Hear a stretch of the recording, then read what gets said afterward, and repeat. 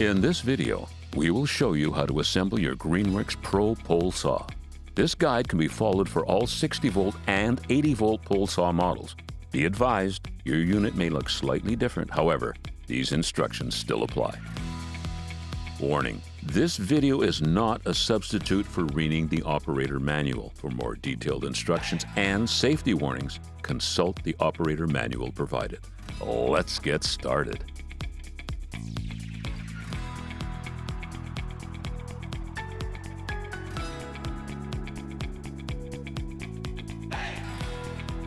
You will need a flathead screwdriver. Unpacking. Cut the tape and open the box. Remove the packing material. Carefully lift the pole saw components out of the box and set them on a level surface.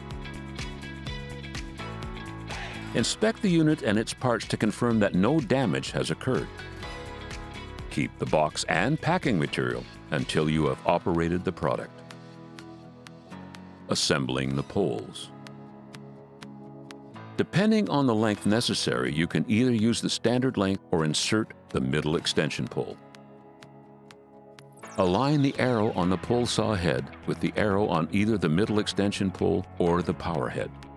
Push the poles together. Secure the poles by threading the plastic coupler onto the middle connection.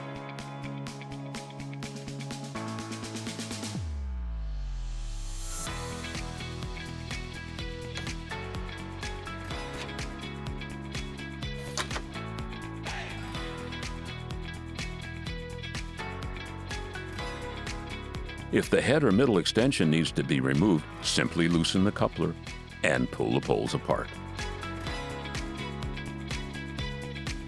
Adjusting the chain tension. Always wear gloves when working with the bar and chain. When properly tensioned, the chain should be snap tight. This means when you pull the chain from the bottom of the bar, it should snap back into position. If the chain sags, it is too loose. The clearance between the bar and the chain when pulled should be no more than a few millimeters. If the chain cannot be freely rotated by hand, it's too tight. Loosen the chain cover by turning the chain cover knob counterclockwise.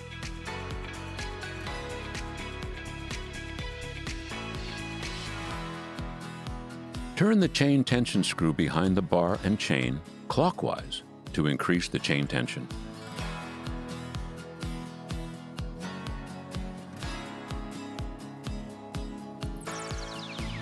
Turn the chain tension screw counterclockwise to decrease the chain tension.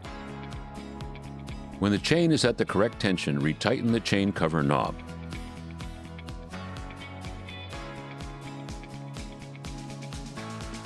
Be advised, new chains stretch. Be sure to check the tension often and tighten as needed.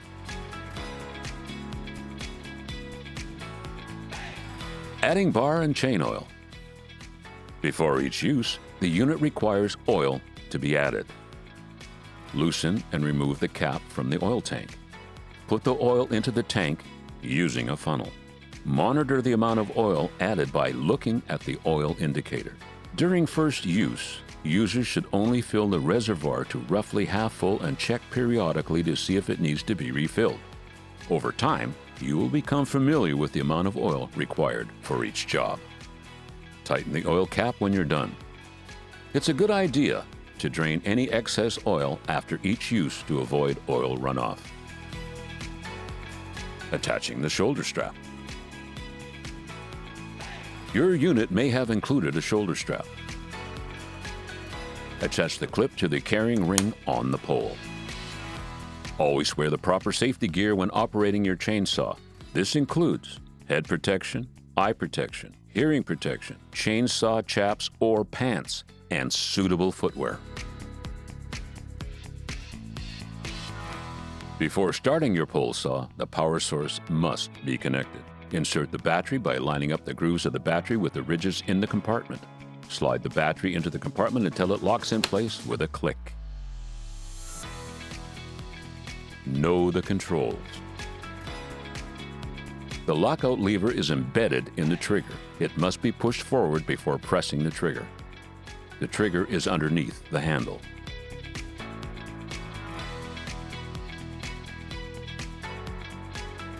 Put the shoulder strap on. Adjust the length of the strap to a comfortable position. Hold the pole saw firmly with one hand on the rear handle and the other hand supporting the pole. Both your thumbs and fingers should always surround the handles. Always keep both feet firmly positioned.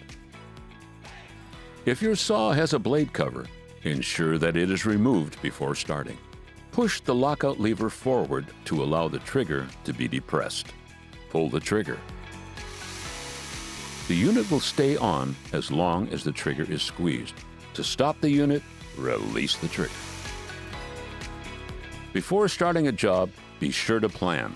Saws are dangerous tools when used incorrectly, and it is important to not only know your next operating steps, but to have an escape plan in case of emergency.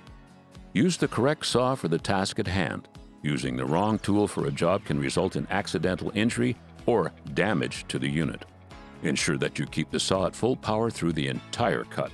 Never stand directly under the branch that you are cutting. Remove long, heavy branches in stages, cutting off small sections to reduce the impact of any falling debris. Cut lower branches first so debris can fall more easily and not get stuck, causing a future hazard. After use, disconnect the power source.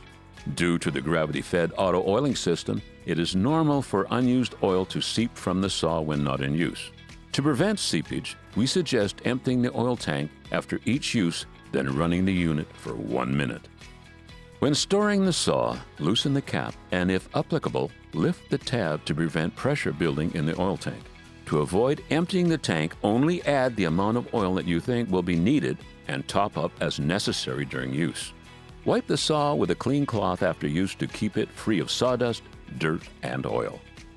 Examine the machine for damaged, missing, or loose parts, such as screws, nuts, bolts, and knobs. Be sure to replace and or tighten all necessary parts prior to your next use. When not in use, pole saws should be stored indoors in a dry, locked location out of the reach of children. Before putting your pole saw away for the season, we recommend thoroughly cleaning the unit with a damp cloth and wiping dry.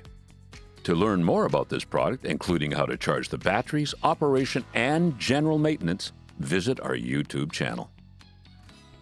Properly maintained, your Greenworks pole saw will provide you with years of great service. If you have any difficulties or need replacement parts, contact us at greenworkstools.com.